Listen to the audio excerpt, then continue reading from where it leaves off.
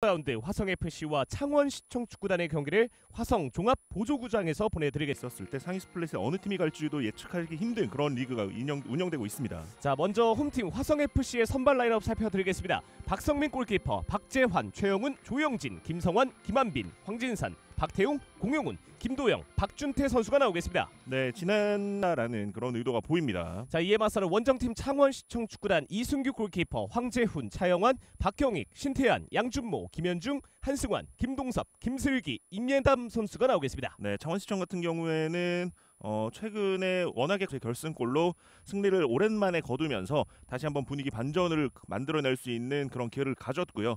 그리고 지난 라운드에서 휴식을 취하면서 그 휴식 기간 동안 점을 올려줬고 최근에 이제 승리하는 데 있어서는 신태한 선수의 활약 역시나 좋았어요. 그렇죠. 신태한 선수가 이제 11라운드부터 13라운드까지 세 경기 연속 득점을 만들어 줬는데 전부 다 이제 세트 플레이 상황에서의 득점이었거든요. 그만큼 시작해서 또 임예담 선수, 김슬기까지 어, 이어지면서 득점을 만들어냈던 창원입니다. 자, 양 팀의 경기가 주심의 휘슬과 함께 출발했습니다. 자, 화면 왼쪽에 주황색 유니폼의 화성 FC 그리고 화면 오른쪽 자, 흰색 유니폼의 창원시청 축구단이 자리합니다.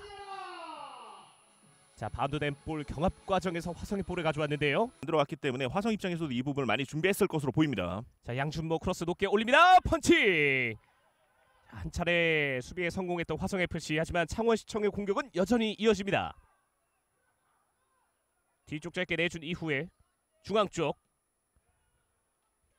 마지막의 킥은 골라인 아웃됐습니다. 네, 차영환 선수가 어, 세트 플레이 상황에 이제 공격 가담을 했다가 볼을 앞쪽에서 받은 상황, 공간 좋은 공간에서 받은 상황이 로 연결. 자, 빙글 돌면서 오른쪽을 바라봅니다. 김도영. 앞쪽으로 짧게 밀어줬습니다. 오른쪽 측면까지 공용훈 크로스. 자, 수비에 맞고 아웃되면서 코너킥 기회를 가져오는 화성 FC. 확실히 화성 같은 을 짧게 가져간 이후에 곧바로 원터치 패스 헤딩으로 끌어냅니다.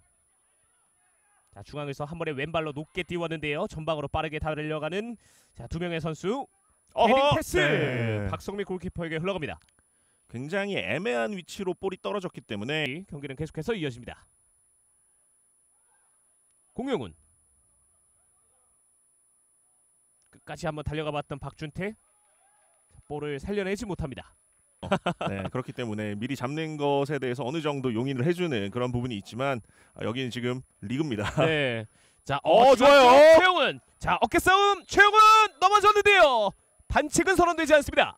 네, 이번에는 이제 최영훈 선수의 파울이 선언된 것으로 보이는.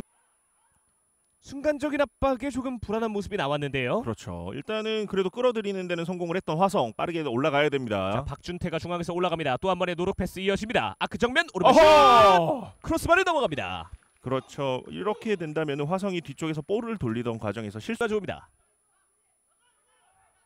박경익 왼쪽으로 밀어준 이후에 임예담 step over 어, 잘 이후 올랐죠? 크로스. 네. 자 김동섭 선수가 한번 쇄도를 해봤는데요. 박성민 골키퍼가 편안하게 잡았습니다. 네, 확실히 이런 장면에서 김동섭 선수가 중앙에 위치하고 있다라는 찍어놓은 저 위치로 킥을 보내거든요. 네. 네. 이번에도 정확하게 갈지 지켜보시죠. 양준모의 킥 뒤쪽 헤딩 아! 막아냅니다. 박성민 골키퍼. 어, 이번에도 굉장히 날카로운 궤적으로 휘어 들어가면서 머리에 네. 정확하게 배달을 이제 벽이 있는 상황에서 그 벽의 시야를 좀 차단할 수 있는 그런 위치를 좀 잡아준 것으로 보입니다. 박태웅 오른발 슛 아하. 넘어갑니다. 네, 박태웅 선수가 어, 자신 있게 슈팅을 만들어냈는데 어, 골문을 살짝 넘어갔어요. 하지만 화성 입장에서는 이런 장면에서 어, 압박을 가져가고 있는 화성 FC고요. 넘어지면서 반칙 선언되지 않았고 박준태. 좋아요. 자 박준태 오른쪽으로 쳐놓고 달립니다. 박준태. 상당히 오랜 시간 볼을 끌었는데요. 왼발 어허. 슈팅은 높게 떴습니다. 지금 약 10분 정도 전반전이 남. 자 기회가 많이 찾아오는 것은 아니기 때문에 신중할 수밖에 없습니다. 차영환 아하. 오른발 인스텝으로 강하게 한번 시도해봤는데 높게 뜨고 말았습니다. 그렇죠. 이번에 조금 더 하기 위한 시간이기 때문에 일단은 두 팀 모두 일단은 실점하지 않은 부분에 대해서는 좋은 경기를 펼쳤다고 볼 수 있겠습니다. 아 임예담 좋은 터치 왼발 크로스 헤딩 자 뒤쪽 아직 있는데요 마지막에 볼을 잃어버립니다 아, 아, 있어요? 오른발 슛! 네. 왼쪽으로 벗어납니다 아, 김현중 선수가 이번에는 굉장히 아쉬운 슈팅이 나왔는데 네 김현중- 앞으로 나갈 시간이 있었는데 자 이렇게 휘슬을 울리면서 양 팀의 전반전이 종료가 됐습니다. 화성 FC와 창원시청 축구단의 2021 K3 리그 15라운드 자 전반전 두 팀 모두 득점 없이 0대 0으로 마무리가 됐습니다. 네, 두 팀이 득점을 만들어내지 못했지만 확실히 이제 두 팀 모두 소개 성과는 만들어냈거든요. 화성 같은 경우에도 뭐 심우현 선수가 전방으로 배치된다거나 서정진 선수, 뭐 심지혁 선수가 측면으로 갈 수 있는 그런 가능성도 충분히 있습니다. 자 양 팀의 후반전이 출발했습니다. 화면 왼쪽에 창원시청, 화면 오른쪽에 화성 FC가 자리합니다. 자 시작하자마자 원투 패스 빙글 돌면서 박준태가 왼쪽으로 열어줬습니다. 화성 FC가 자리합니다. 자 시작하자마자 원투 패스 빙글 돌면서 박준태가 왼쪽으로 열어줬습니다. 김한빈 접어놓고 오른발 아, 높게 좋아요. 헤딩. 네. 자 신태현 선수의 머리와 꼬아떠했습니다. 코너킥을 가져가는 화성 FC. 네, 이번 한전 선수들의 위치를 봤을 때 창원시청 축구단 선수들은 현재 경기장을 굉장히 넓게 그렇죠. 활용하고 있죠. 그러면서 지금 이제 또 측면을 통해서 중앙을 다시 거쳐가는 그런 전개 작업들을 보여주고요. 어, 자 좋아요. 오른쪽 김슬기가 이어받습니다. 김슬기 step over 이후에 오른발 크로스 올라갑니다. 아요! 아, 어허! 이걸 놓치고 말았던 김동섭. 그렇죠. 이번에는 볼을 계속해서 소유를 하고 있던 창원이 오른쪽 측면으로 전환을 하는 그런 부- 상황들이 좀 많이 영향을 미치고 있는 것 같습니다. 자 황진산이 잘 끊어줬고 헤딩 패스 연결까지 중앙에서 박준태 태클 조금 발이 조금 높아 보였는데요. 오른발 슛 네. 벗어납니다. 공용훈 이번에는 볼을 뺏어내고 난 이후에 박준태 선수가 좀 조금은 아쉬웠는데요. 자 황진산이 오른쪽으로 연결시킵니다.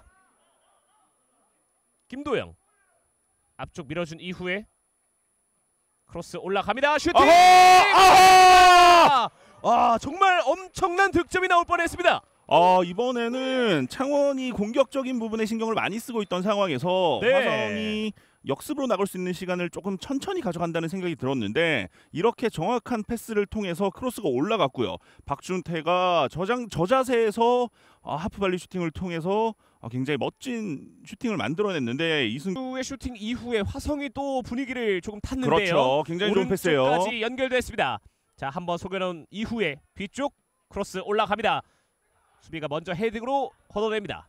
황진산 오른발 슛 네. 막아내는 이승규 골키퍼. 일단은 화성이 분명히 어, 분위기를 가져오는 데는 성공을 한 것으로 보입니다. 네.